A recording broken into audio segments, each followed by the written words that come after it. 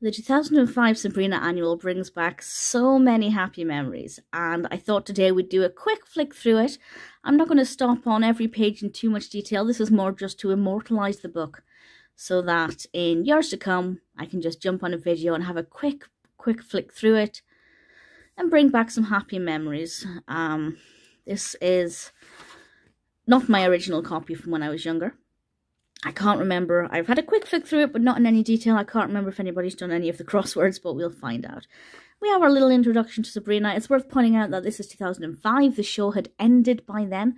It ended in 2004, but of course things were airing in the UK um, ever so slightly later. Pretty lovely poster. And we have a story here. Morgan and Salem.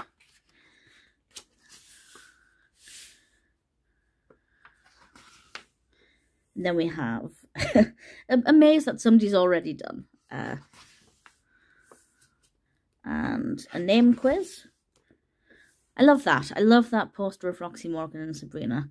It's kind of a, it, it's so weird having a, I believe that's season three, Sabrina.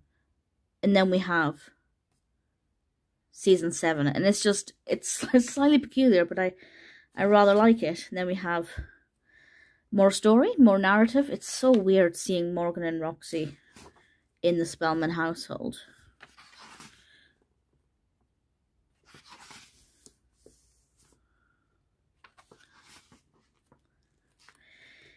Mythical creatures uh, with Aunt Hilda, fairies, gnomes, mermaids, gremlins, dragons, unicorns, giants, the Loch Ness Monster, Will the Wisp, and the Abominable Snowman.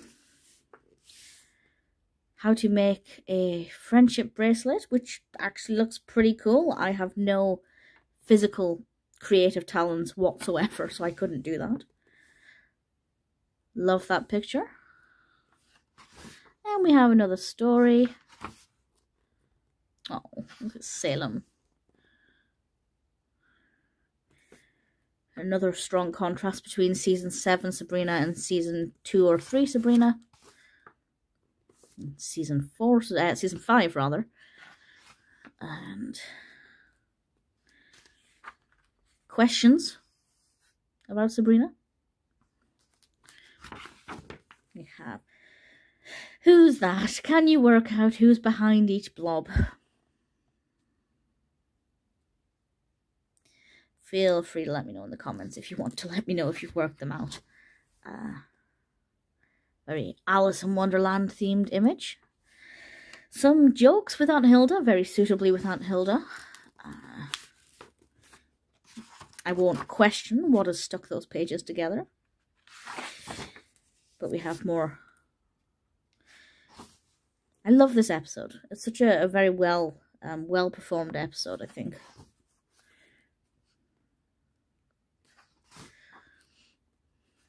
Sabrina and Salem clowning around.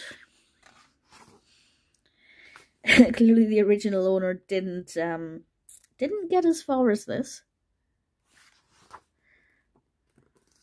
Lovely poster of Roxy. And more narrative. Oh, spoilers. okay. Should have probably pointed that out at the beginning. Poster of Morgan.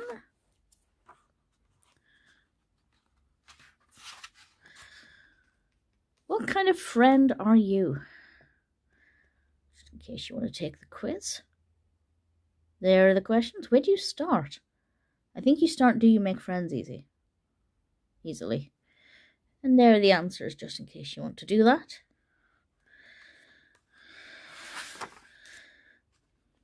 And then the... I love that. That's one of my favourite pictures of Hilda and Zelda. we have Harvey, of course. And turn the page. Nope. Yeah, there we go.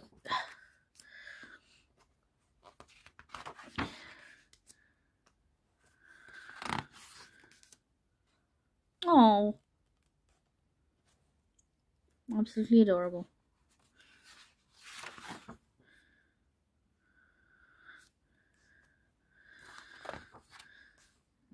Gun fishing. How to make, what am I making? A magnetic fish tank. That's pretty weird. Cheesy fish.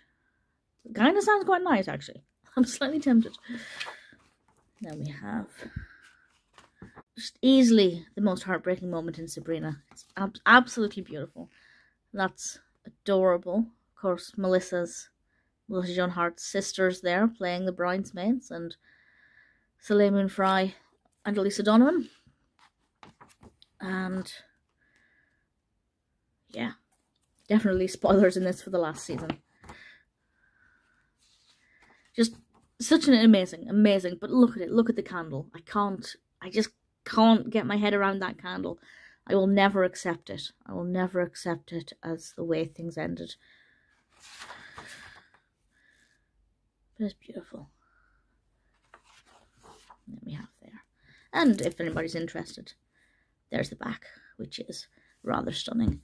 So many happy memories. Such a beautiful annual. Definitely one that makes me feel like a child again. I absolutely love it.